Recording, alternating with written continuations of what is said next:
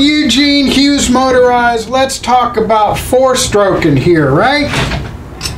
So, you're tearing ass down the road in your little 66cc.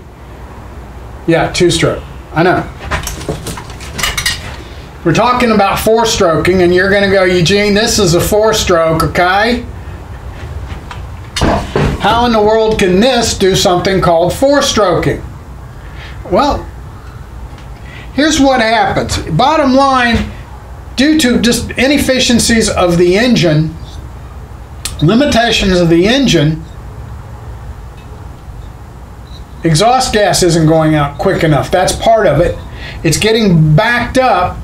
There's too much exhaust gas trapped in here and it doesn't fire. If it's loaded up with exhaust gas and it, the piston comes up, it's not going to fire. So you will notice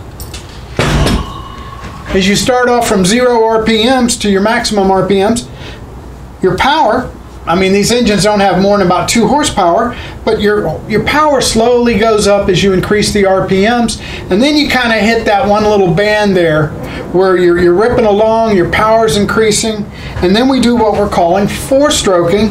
The power just levels off, and it, it actually it runs worse. Okay, and it, it seems to drop off there. That's just some limitations of the engine. Okay, it's limitation of the flow of the engine and one of the quickest fixes you can do to help things flow a little bit better is adjust your jetting. Stock from the factory, these here are a little bit rich and they come with the number 70 jet. You remove the two screws here on your carburetor bowl, pull the carburetor and the jet's underneath here, and you want to jet it down to a number 66. Okay, that's at sea level, most engines.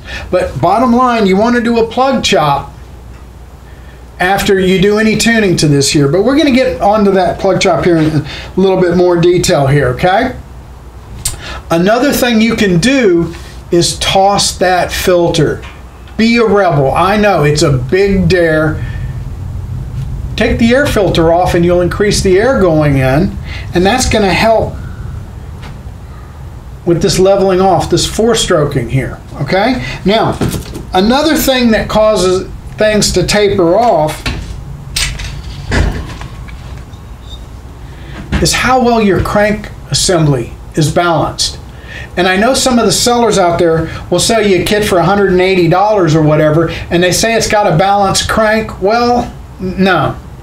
Some kits are better balanced than others, you, you can't deny that, but it takes time and money to properly, I mean, to balance a, a crank assembly to precision takes time, and only your uh, your better builders, your your custom builders, are going to take the time to do that. There are videos if you want to go that much in depth, but if your crank assembly is poorly balanced, that's going to limit how many RPMs you can go, and that's going to cause that power band to taper off. That's one aspect of it. Now, another aspect of it here is if we improve the flow overall and balance things out a little bit better, we can get a little bit more power out of the engine, okay? So we need to look at this as a pump. We're sucking air in here and we're pushing it out there. We're, we're pumping air, okay? While we're at it, we're siphoning gas up the carburetor bowl into the intake. It goes down into the crank assembly, up the transfer ports, into your combustion chamber and it shoots out the exhaust. Okay, so that is the cycle. If we increase the flow characteristics here in the engine, we're going to get better performance. So what we can do is clean up the ports. I've got a video down below showing you how to do the porting, basic porting there we can get a better exhaust on it, an expansion chamber. That's going to help balance things out and get the, an ideal balance here. That's one thing with your little two-stroke engines here is a balancing of, of things here, and it's a little bit more technical than uh, my understanding here. But I know that uh, with a, a, better expansion chamber, like off of uh, uh a Yamaha mini bike, Kawasaki, Suzuki, KTM, a big fatty expansion chamber is going to help. But no matter how you change the flow of it, you want to go back and you want to do a plug chop, and that'll tell you how you want to jet it. Okay, now as well, if you really improve your flow and get a good pipe on it, and it's have a, a balanced crank on it, you can burn more fuel and you may need a bigger jet. You may need to go up even, you know, 75 or whatever. You don't know until you do a plug chop. How do you do this plug chop thing here, right? Well, it's got something to do with the spark plug, right?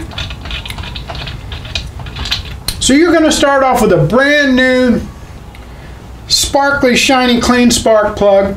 You're going to set the gap on it. You're going to put your fresh spark plug and you're going to warm up the engine. You're going to go full throttle, wide open throttle, all the way open for at least 30 seconds and then kill it. Kill it instantly, then pull your spark plug. And you're going to take a look at the tip of it here. Ideally, we want a nice cocoa brown color. If it's black, it's too rich. And if it's gray or white, it's too lean and you need to jet accordingly. We're going to have a fatty pipe video coming up soon here. I hope you learned a little something about four stroking, what it is, blah, blah, blah. If you like the video, you think it's helpful, give me a thumbs up. There's a subscribe button down there. Thanks for watching.